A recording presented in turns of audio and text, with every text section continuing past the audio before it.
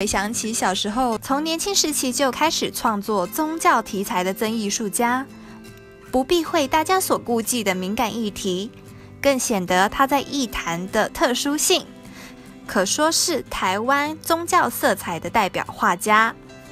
从最常见的土地公、观世音菩萨、福禄寿。近年更将巨幅门神西往日本六本木国立新美术馆进行巡展。站在国际的舞台上，艺术家拥有了广阔的视野，更宣扬了台湾宗教之美。